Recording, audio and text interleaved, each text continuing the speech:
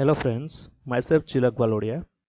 Uh, today I am going to explain computer data representation of computer organization and architecture subject. In today's topic I will cover uh, three main points.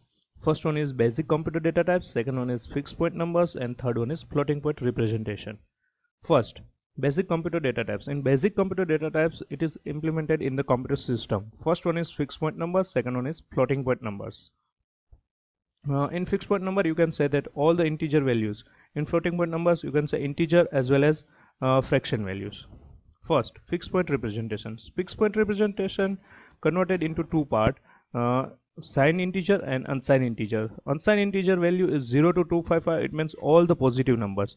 In signed integer the range of the signed integer is minus 127 to plus 127 it means positive as well as negative numbers uh, now we see uh, see one example of the fixed point representation.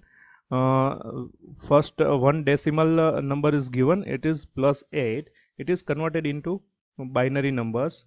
Uh, and it is converted into format of 8 bit binary numbers. So it is 0 0 0 0 1 0 0 0 last leftmost significant bit. Leftmost bit it is called sign bit and rest of the bits are called magnitude.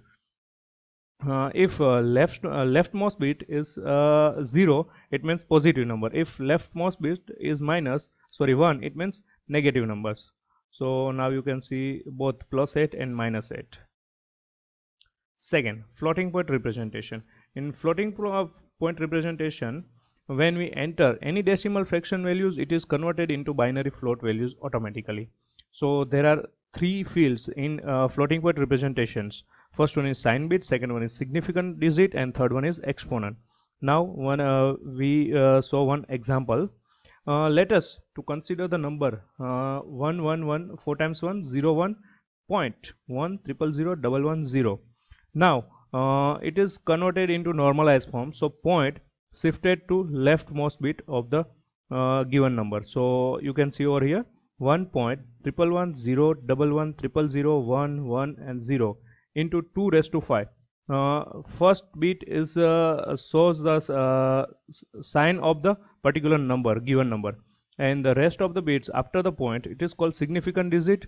The base is 2 uh, you can also say scaling factors. And the power of 2 it is called exponents. Now uh, floating point uh, representation first of all you have to uh, given number uh, converted into uh, binary number then normalized form and then and then you can uh, convert into single precision double precision numbers. Uh, now first uh, we show there are two IEEE standard. There are two IEEE standard is available for floating point numbers. First one is 32 bit standard. It is also called single precision representation. The second one is 64 bit standard. It is called double precision representation. Now single precision representation. Uh, now you can see the structure of the single precision uh, single precision representation. Uh, uh there are 32 bit word is available. Uh, first bit is sign bit. Now you can see that s. Now it is e dash. It is called exponent. It is 8 bit. And the rest of the bit it called mantissa it is called 23 bits. Now e dash it is the uh, not an only exponent bit. E dash is equal to exponent plus bias. Here in uh, single precision representation bias is 127 it is always fixed. So e plus bias it is called e dash.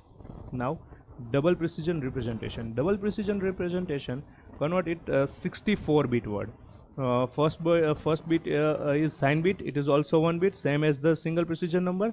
Uh, the e dash bit is 11 bit. So here e dash is equal to e plus bias. Here in double precision representation bias is 1023 and uh, rest of the 52 bit is mantissa.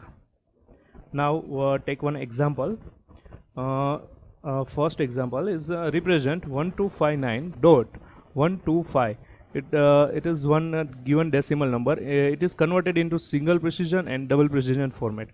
There are four steps uh, step 1 converted decimal numbers into binary numbers. Uh, so you can uh, see over here 1259 it is converted into binary then 0.125 it is converted into binary. And finally uh, 1259.125 decimal numbers converted over here into binary. Uh, after conversion of binary you can see over here the normalized form uh, 1 point double zero triple one zero one zero one one zero zero one. So you can say that this uh, point is shift to the uh, left hand side uh, after the 1 so the here exponent is 10 and mantissa is particular and this is the sign bit. Now step number three. First of all we convert into single precision representation. Here there are three fields in single uh, single precision representation. First sign bit. Here our given number is positive.